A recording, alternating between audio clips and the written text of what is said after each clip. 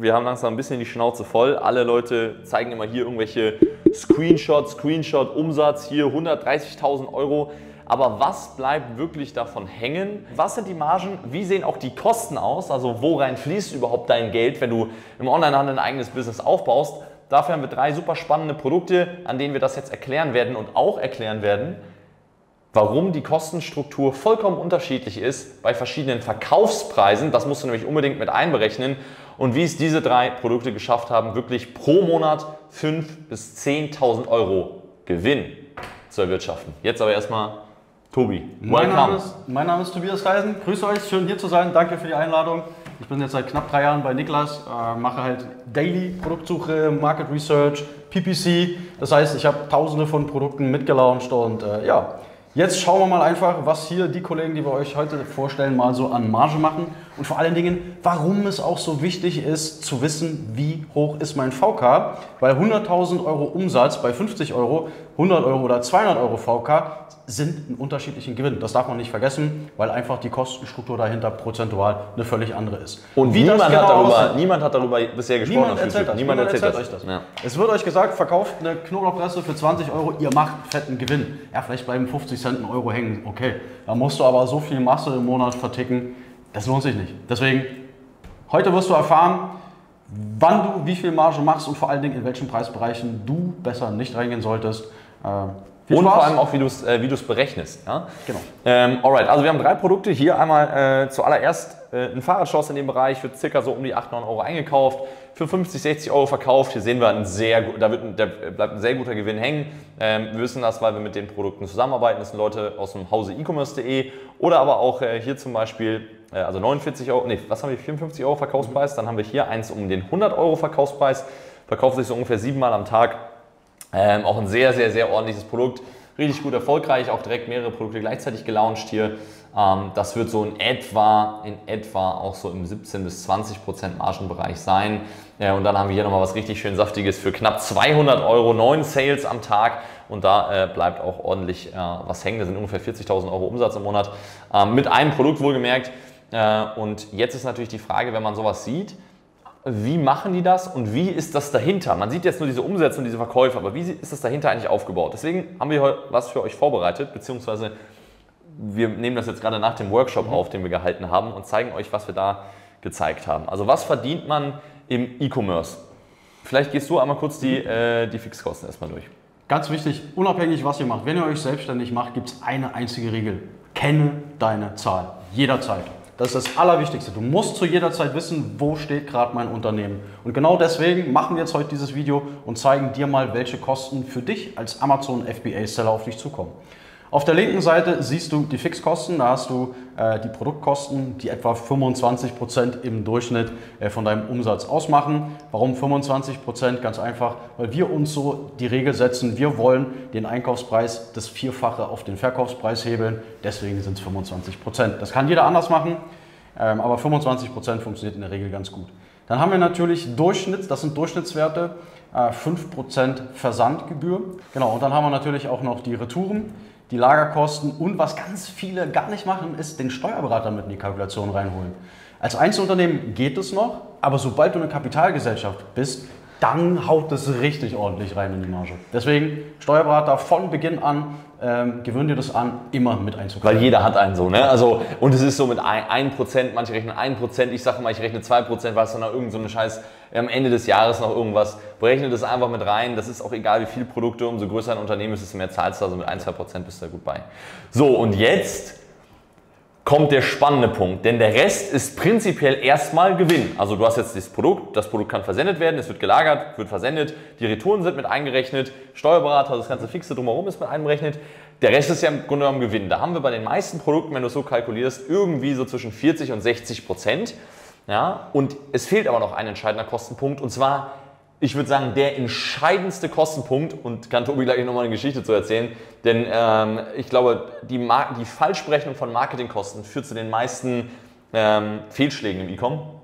Also glaube ich nicht, sondern äh, zu 100 Prozent. Das ist Fakt.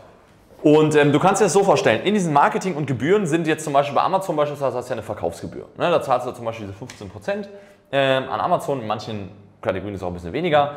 Ähm, und dann hast du PPC-Werbeanzeigen. Also wenn du jetzt beispielsweise mal, sagen wir, wir gehen mal hier in, äh, auf Amazon hin, wir suchen mal nach Fahrradschloss, jetzt nur als Beispiel.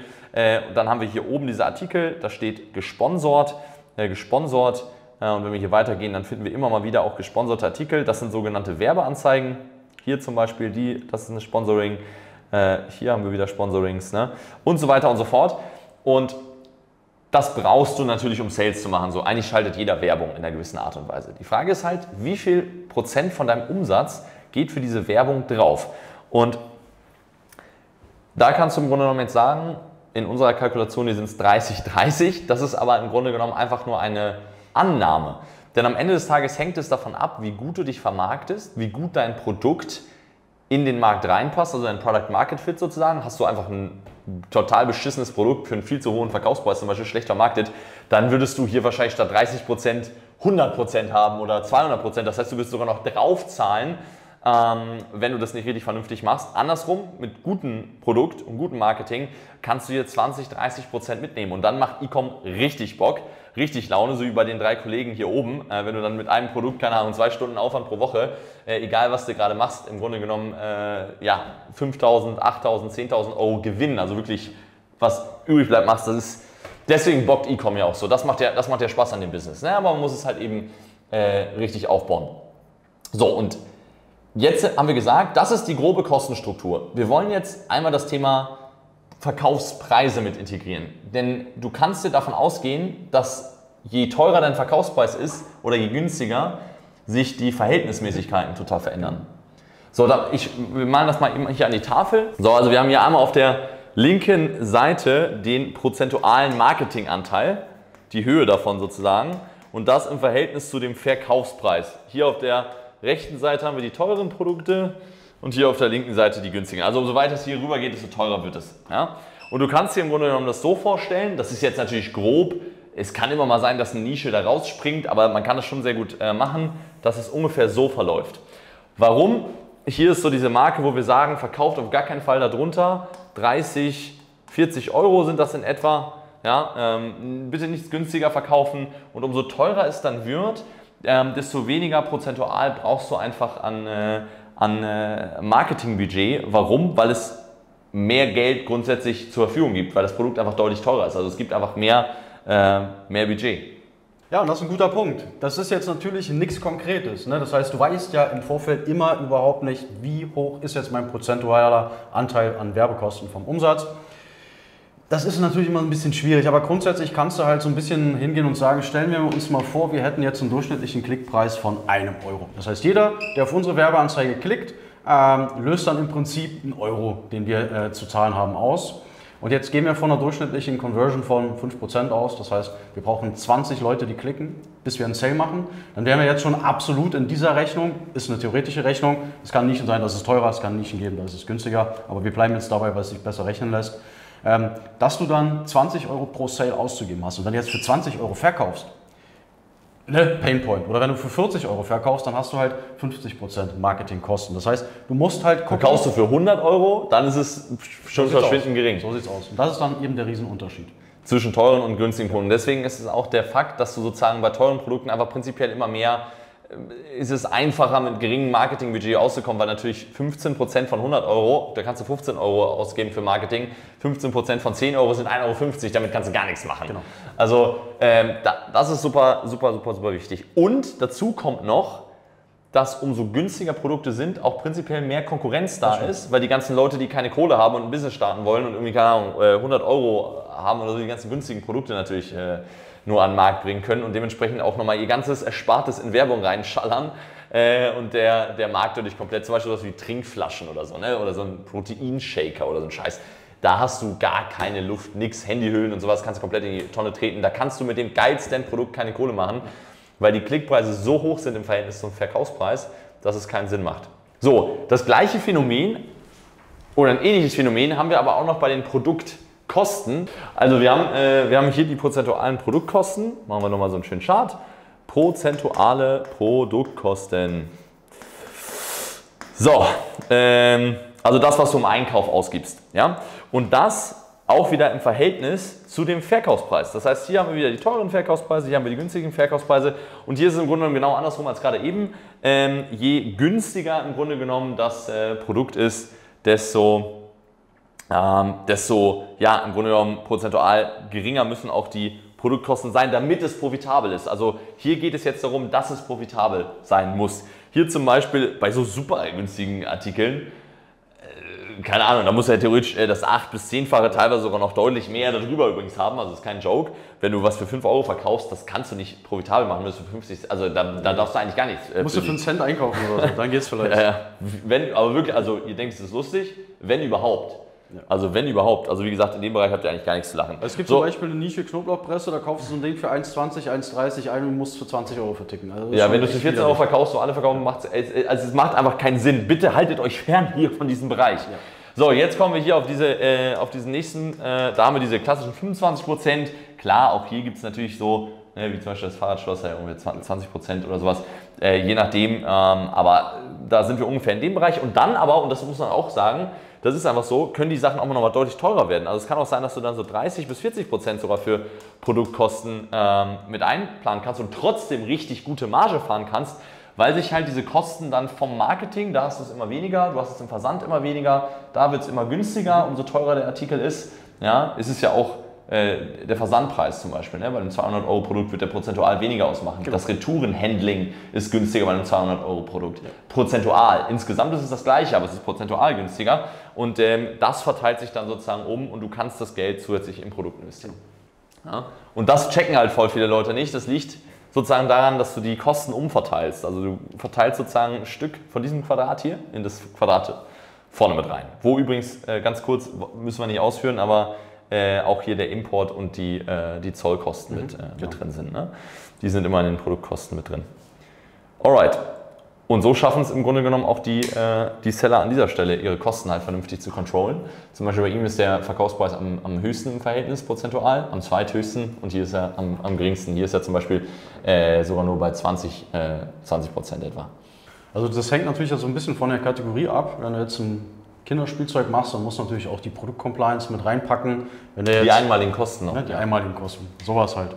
Aber an den variablen mhm. Kosten da gäbe es jetzt, ähm, ab Oktober kommt Amazon wieder mit neuen Gebühren auf sich. Das heißt, jede, jede Kategorie hat ja eine durchschnittliche Retourenquote. Und wenn du jetzt ab Oktober mit deinem Produkt da drüber bist, dann geht Amazon hin zusätzlich zu den Retourenkosten, die du eh schon leisten musst, äh, und sagt zu dir, okay, weil du jetzt über diesem Durchschnitt bist, zahlst du jetzt nochmal pro Produkt 3 Euro Strafgebühr. Pro Produkt.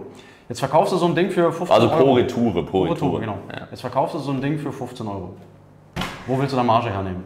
Es ist komplett bescheuert, diese günstigen. Produkte zu verkaufen. Auch da gilt natürlich wieder, umso teurer das Produkt ist, desto egaler ist dir das. Nämlich auch die Bearbeitungsgebühren von jedem Produkt sind die gleichen bei einem teuren wie bei einem günstigen, aber prozentual sind es weniger. Hier auch nochmal ein kurzer Appell. Wir treiben diese Botschaft wirklich durch den Markt. Schaut euch an, wo habe ich das hier? Amazon FBA, FBM.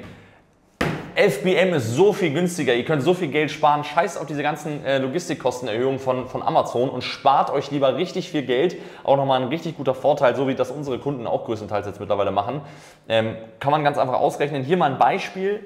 Also FBA bedeutet, Amazon FBA ist Versand durch Amazon. FBM ist Versand durch einen anderen Logistikdienstleister, der genau das gleiche für euch macht wie Amazon. Also es ist genau das gleiche, nur viel günstiger.